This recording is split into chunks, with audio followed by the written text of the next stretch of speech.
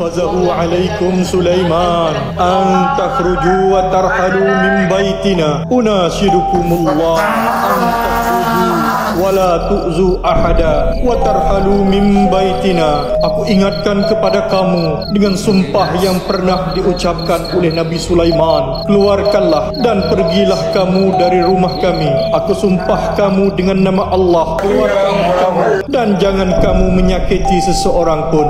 Amin. Ya rabbal alamin. Selamat kembali ke rancangan Rukyah dan Mantra Podcast bersama saya Sarah Hamzah, Rusdi Roslan dan Kaisha Zuan. Lambat lah korang. Terima kasih uh, Selamat datang ke bahagian kedua Dalam episod kali ini uh, Pada episod yang terlepas Kami telah menceritakan Tentang rukyah rumah Betul. uh, Dan episod kali ini uh, Pada bahagian kali ini pula uh, Saya ada uh, Bawa lah uh, uh, Untuk The both of you tengok uh, Adalah kitab Kitab sihir. Hmm? Hokus pokus Kan dengan tiba je ada bawa. Harry Potter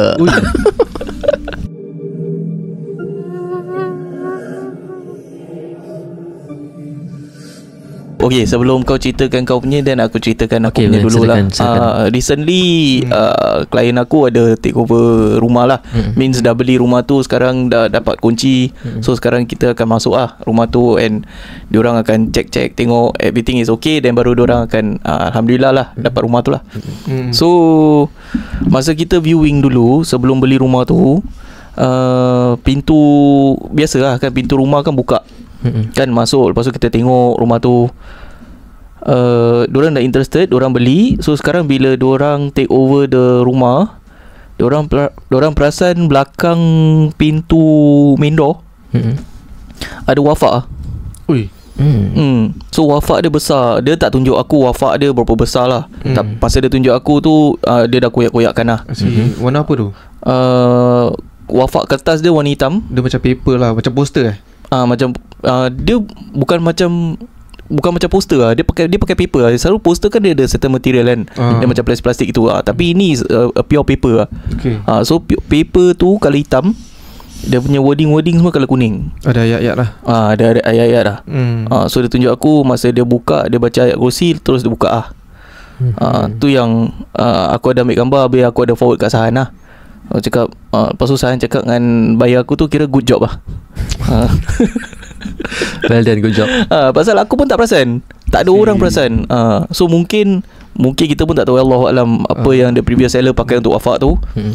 Tapi Mungkin untuk pendinding lah Pagar rumah lah ah maybe Daripada maybe. dia punya kepercayaan dah Ya, so Eh. so kalau tu bawa the cerita tu uh, back to the bahagian pertama tadi yang kau cakap tu, Mm-mm. ada orang ada orang uh, pagar rumah maybe pakai pakai barang. Mm-mm. Ah, macam kita pernah ceritakan dulu episod-episod lama tu pakai apa?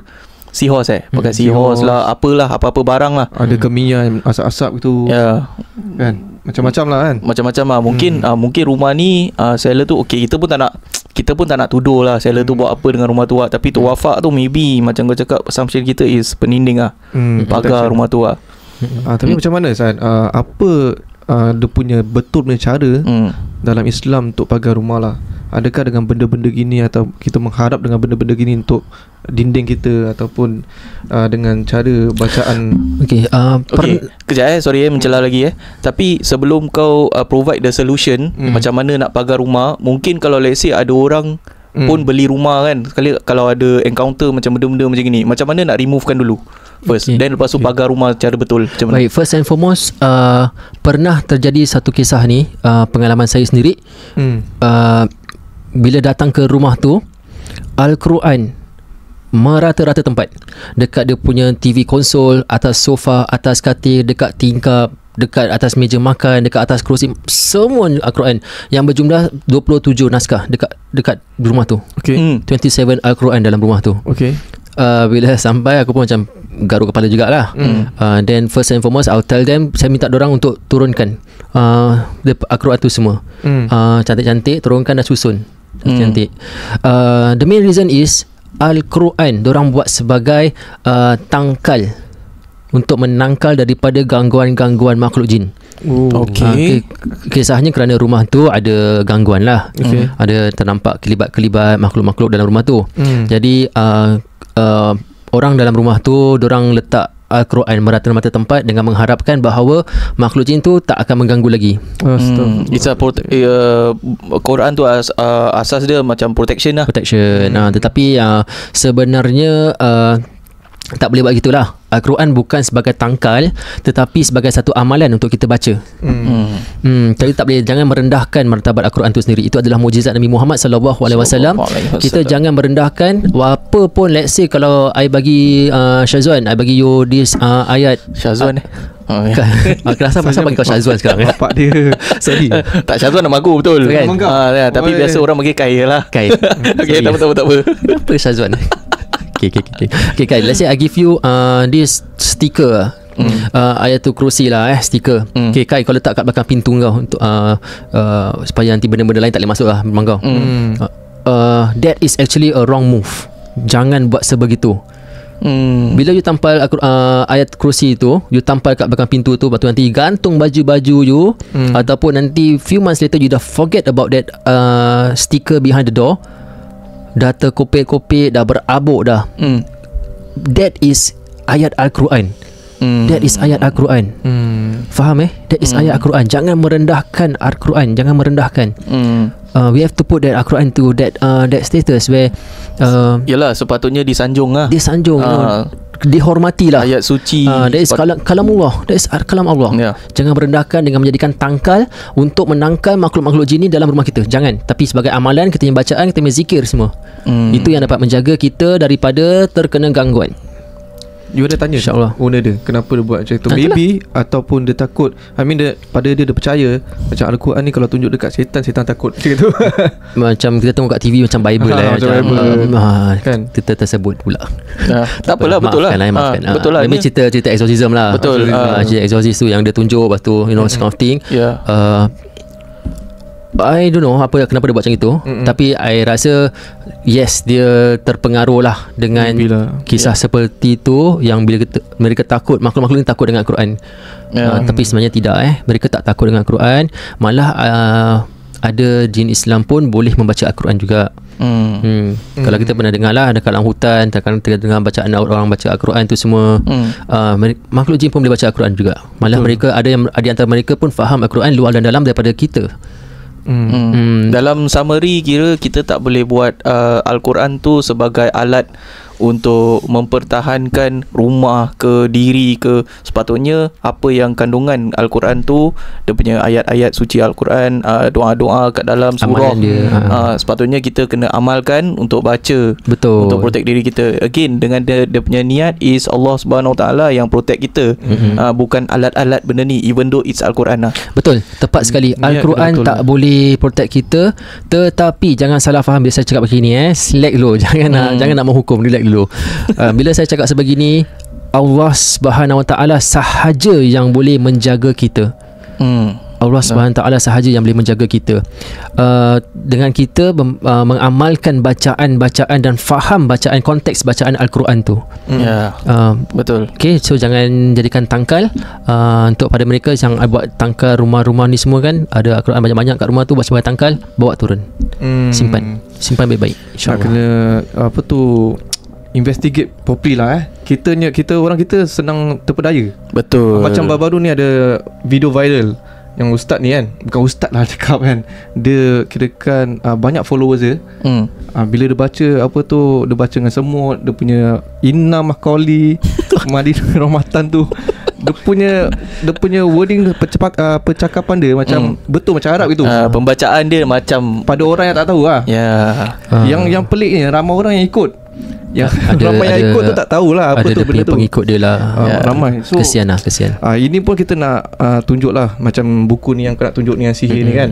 Uh, dia, Ah. dia pun ada ayat-ayat juga. Betul. Tengok aku tengok tadi baca buku tengok eh ini macam ada macam mana nak ubatkan sakit and all that you know. Mm. Tapi dia, unsur-unsur dia kira kan dah salah jalan lah. mungkin mungkin Zarhan boleh Ha, uh, lagi-lagi. terjemahkan ah, Ulaskan lah, eh, ulaskan ulaskan betul dengan uh, Before that I want to touch up uh, Kepada uh, Mereka yang Kalau ambil servis Daripada Syirasi Jamaah Hmm. uh, Harus faham bahawa Dalam Syirasi Jamaah Kita gunakan mic Dengan speaker Bila kita buat rawatan Ha.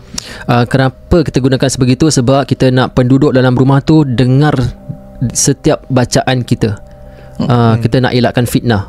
Mm. Kerana uh, para dukun pun boleh baca surah Fatihah. Uh, para dukun pun boleh baca selawat Nabi. Hmm. Tetapi bila kita telitikan balik kalau de, bila baca surah Fatihah tu depan-depan dia baca kuat. Belakang-belakang dia baca kuat. Dekat tengah-tengah tu suara dia pelan pula.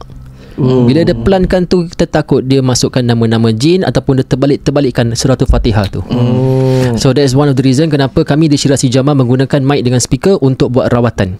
Okay. Hmm, elakkan fitnah eh. Elakkan fitnah Oh, betul. lah. Insya-Allah.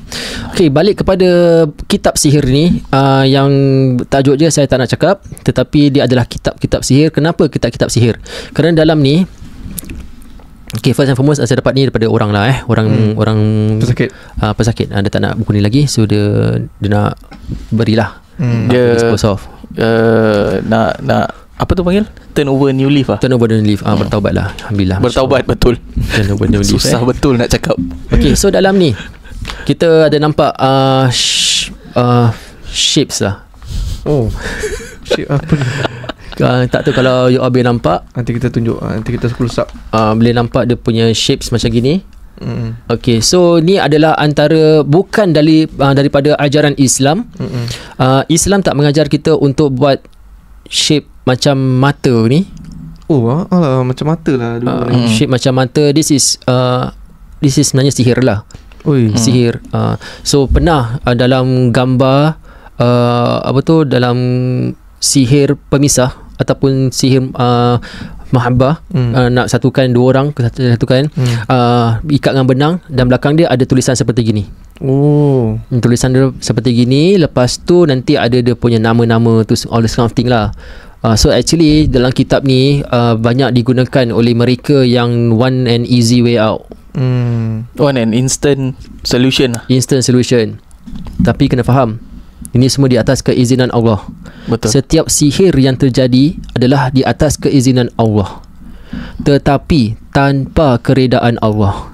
Hmm. Hmm. Hmm, sama juga kalau kita mencuri. Very deep. Ha, kalau kita mencuri, kita curi, kita dapat lari. Hmm. Itu pun dengan keizinan Allah. Tapi tanpa keredaan Allah. Kita tak boleh mencuri apa? Betul. Faham kan? Faham. Ah, pernah- Baru aku faham. Uh, macam kadang-kadang kalau uh, orang-orang yang buat this kind of uh, rawatan lah gunakan benda-benda gini. Uh, uh, ni semua dengan izin Allah apa? Betul. Dia, aku kadang-kadang macam Betul. macam nak tumbuk je muka dia. Bila aku tumbuk muka dia pun nanti aku cakap ni dengan keizinan Allah. So, tumbuk muka awak sampai. Faham tak? Pelan-pelanan, pelan-pelan. Kadang-kadang trigger, kadang-kadang trigger. Maafkan saya sahabat-sahabat. Kadang-kadang trigger sedikit bila orang gunakan nama Allah untuk buat benda-benda yang kurafat, yang syirik. Hmm. Kadang kita macam uh, sebagai perukiah yang syariah, sebagai yang kita nak cuba sedaya upaya kita untuk menegakkan bendera Islam Hmm. dengan dengan cara yang mengikut Al-Quran dan Sunnah. Tapi ada pula orang gunakan seperti wafak-wafak ni uh, shapes macam gini Ya, kadang-kadang ada huruf betul-betul ada huruf hijayah juga eh. Ada huruf Ah, hijayah tapi tak ada betul. makna lah. Ha Kalau kita tengok ada satu ni dia hmm dia Wan? Okey. Uh, Okey. Sementara Sahan tengah tengah tengok-tengok ni, Hmm. ah kasih aku tengok yang ini pula. Jangan tengok baca juga. Eh jangan. Jadi orang boleh tahu apa perbezaan dia. Eh tapi ada Oh, kau tukar topik. Okey. Eh tapi uh, kalau tengok betul-betul uh, kalau untuk orang yang uh, knowledge agama dia kira basic lah. Basic lah Kan? boleh baca Quran aja lah. Ah, kan? boleh baca lah, kira mukadam Ah, Quran mukadam, boleh ah. baca ah, mungkin al-Fatihah lah boleh Hmm. baca kan. Tengok dia punya ayat-ayat ni kira macam betul-betul Boleh baca lah. Tapi Ah. kita tak tahu maknanya apa. ya. Hmm. So ini yang akan buat orang macam terpesong eh ingatkan eh Hmm. ni ayat al-Quran ni boleh baca ni. Eh ni betul ni. Ah, so orang amalkan. So bila Hmm. amalkan macam kesian lah. mm-mm. Ah, yang orang punya knowledge ni tak tak tak sampai ke mana. Macam starting tengok tengok. Yang starting ni kan dah Ah. macam biasa bismillah Allahumma ya Allah Allah. Tapi Ah. bawah dia tu dah lain. Hmm. Yang atas okey lah nama Allah biasa bismillah. Yalah tapi dengan dia punya niat Ah. untuk apa? Pasal uh, setiap uh, macam ayat lah, Hmm. ayat ni kan. Ha ni dah lain tengok. ah, Ayat yang- yang dah lain ni. Betul. Yang macam ayat-ayat yang kita nampak ni dia dia ada tulis juga kat atas yang uh, title dia uh, ini ayat untuk apa. Ini ayat untuk apa. Jadi macam dia punya niat pun dah salah lah kan Mm-mm. pasal berdamping dengan ayat ni untuk dapat uh, dapat solution tu. Yalah, yalah. Padahal again kita selalu uh, repeat kita selalu emphasize yang cakap uh, apa ayat yang kita baca ni uh, keredaan dia datang daripada Allah. Uh, dia punya solution datang daripada Allah. Keizinan dia datang daripada Allah, bukan daripada ayat ni. Mm-mm. Uh, itu yang buat So buku ni jadi syirik lah. Buku ni public boleh dapat eh macam ni eh. Mm. Hmm. Tak mau tunjuk title ni. Uh, Seram-seram pula aku. Uh, sebenarnya di apa tu uh, dihentikan lah dihentikan daripada Yeah. yeah. publisher ya Yalah, yalah. pasal uh, as you can see kumpulan ilmu gaib na na na na na asli kesembuhan Hmm. tapi dalam dia aduh okey ni tadi uh, nak tunjukkan satu topik ni uh, dia punya title ni uh, minta maaf semua uh, tempat keluar ma- uh, mani wanita Okay. So, tempat keluar mani bagi wanita agar ia dapat memperlo- memperoleh kenikmatan bersetubuh. Jika tanggal satu di kaki kanan, maka hendaknya digaruk. Uh, uh, apa apa? Tak tak faham, tak faham. Aku tak faham. Uh, jika tanggal dua tempat mani di betis kanan, maka hendaknya digaruk keras-keras. Aku pun tak faham. Apa ini mantra? Tapi ni kelakar, ni kelakar. Ni mantra ke apa? Jika tanggal enam tempatnya di bawah ketiak, maka hendak digaruk pelan-pelan. Aku tak faham ah. Tanggal apa ni tanggal? Okay. Whatever it is, Islam tak mengajar semua ini. Oh ini instruction lah. instruction tu buat. Instruction, okay. Islam tak mengajar semua ini. Jadi kenapa kenapa ada orang actually beli buku ni Untuk praktis. untuk praktis when you know this adalah satu benda yang ha- haram lah. Hmm. Apa saya haram lah? Tak ingat mati je. The only tak, tak tapi the only logic explanation yang aku boleh derive lah Mm-mm. kan daripada uh, dia boleh ulaskan lah daripada apa yang kau cakap ni kan. Mungkin ada instruction. Uh, mungkin itu masalah seorang individu tu lah. Mm-mm. kan masalah ada contoh lah. Kan tadi kau cakap apa? Uh, dia punya title apa? Tempat keluar mani wanita. Ah uh, macam itu. Contoh dia tak dapat dia punya nikmat. Mm-mm. Untuk untuk dapat Nafsu lah. uh, that stage. Mm-mm. Uh, so dia nak dapatkan lepas tu dengar orang cakap eh kau beli buku ni, buku ni ada ajar macam mana nak gitu. Kan dia nak tu macam aku cakap tadi dia dia nak the instant solution lah. So bila the instant solution tu can provide Hmm. dalam buku ni, uh, aku rasa haram halal tak tepi lah. Aku nak apa? Uh, teruskan jadi lah. Sama juga pada aku macam orang yang tengok macam maaf cakap yang tengok benda-benda lucah. Mm-mm. Uh, sama juga kan dia contoh dia ada isteri. Uh, atau contoh dia tahu benda tu salah. Mm-mm. Tak boleh tengok. Tapi dia nak sampai kenikmatan tu Mm-mm. uh, in order tu sampai tu dia nak kena tengok benda-benda macam ni which is Mm-mm. kita dah tahu semua haram apa Mm-mm. uh, tapi semua dia tak tepi lah pasal Mm. uh, dia punya intention is aku nak sampai apa that Mm. kenikmatan Yeah, so that's uh, there's the only explanation lah aku ada lah Hmm. buku ni sebenarnya ada dekat Singapura yang meribak lah. Eh. Tapi, uh, tapi alhamdulillah um, uh, ramai juga actually pesakit-pesakit yang buang buku ni lah yang bakar buku ni Hmm. tak nak lagi. Uh, saya ada empat jenis buku kitab sihir ni. Uh, kenapa saya baca? Kenapa saya simpan? baca eh Uh, baca. oh I baca mean- bukan amal lah Eh bukan. baca baca untuk Nauzubillah min zalik. Astagfirullahalazim Baca tahu tak faham baca apa. Baca baca baca saja. Uh, kadang-kadang okey apa ni? Okey kadang-kadang uh, kita kena faham uh, suatu sihir tu for example gambar. Okey gambar. Tak semua sihir tu kita boleh bakar untuk lenyapkan dia. Hmm. Tak.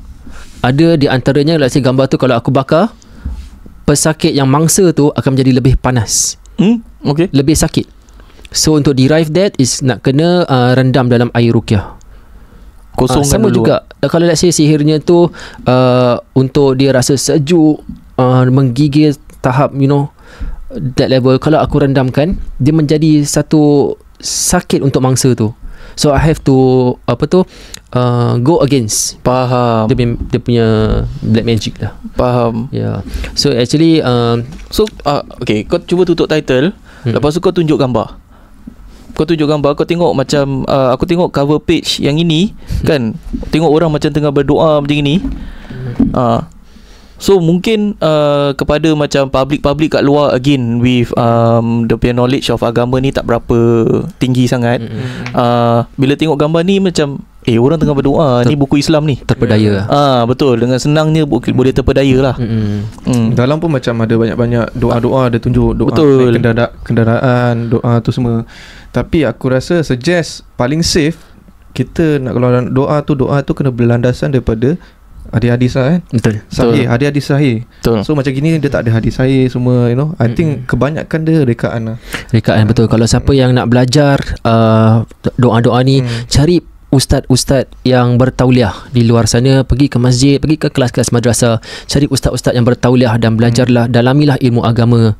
Uh, kalau you know you uh, lack covid, hmm. pergi belajar ilmu agama. Jangan ambil instant way out dengan beli buku macam gini, lepas tu you amalkan bacaan-bacaan dia yang entah apa sahaja. Hmm. Maksudnya lagi safe Berguru dah Dengan Few gurus lah Jangan satu je Mm-mm. Maksudnya jangan satu YouTube-nya guru je Bukunya guru je Bukan Hmm. Maybe boleh- kalau kita baca Ya. buku kita mengamalkan ilmu tu tanpa guru uh, kita beramal dengan syaitan lah. Hmm. Betul. Uh, so nak uh, it's important untuk cari guru uh, untuk belajar dan mendalami ilmu agama kalian insyaallah. InsyaAllah. Uh, baru juga saya mendapat satu panggilan daripada seorang anak muda. Hmm. Uh, dia cakap dia minta tolong kepada saya.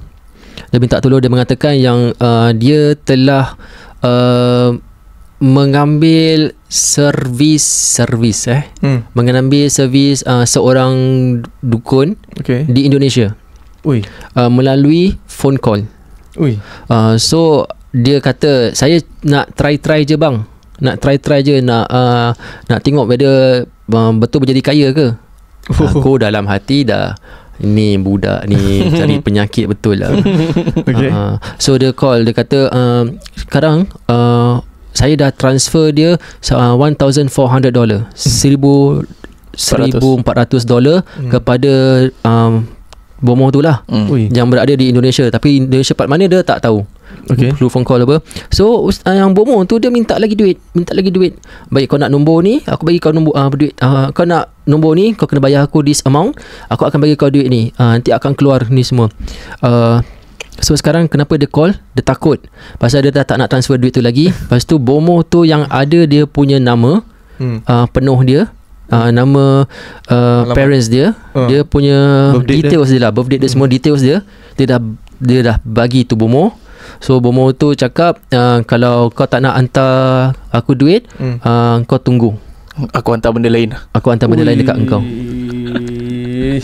In the first place Aku kadang-kadang kan Alamak Ini yang aku cakap lah Macam the logic explanation is Sekarang dia nak kaya Mm-mm. uh, Bila dia nak kaya Intention tu dia dah cloud tau Hmm. uh, Dia dah kabuskan Apa yang whether haram ke halal ke Mm-mm. uh, Macam dia cakap Sekarang I nak try je Kan Sekarang kalau betul-betul jadi kaya uh, It's a successful thing apa Mm-mm. Pasal dia punya Intention is untuk jadi kaya je Tapi? So That's the only That's the only explanation lah Baru nanti bila dah jadi kaya dia punya kabus tu dah hilang dah kaya Mm-mm. kan baru nanti turun turun dia punya uh, dia punya apa tu sifat yang whether eh ni benda actually haram ah Hmm. hmm. uh, Hmm. tapi at the start tu is never about the haram halal it's always about sekarang intention aku aku boleh dapat tak Hmm. uh, macam ni okey lah tak dapat lah kalau tak dapat kena tipu lagi. Ah, Scammer lah Bomo orang scammer semua lah. cakap jangan passing pass Hmm. kat orang lain dia pass bomo dia punya detail Habis uh, So itulah dia minta tolong uh, Untuk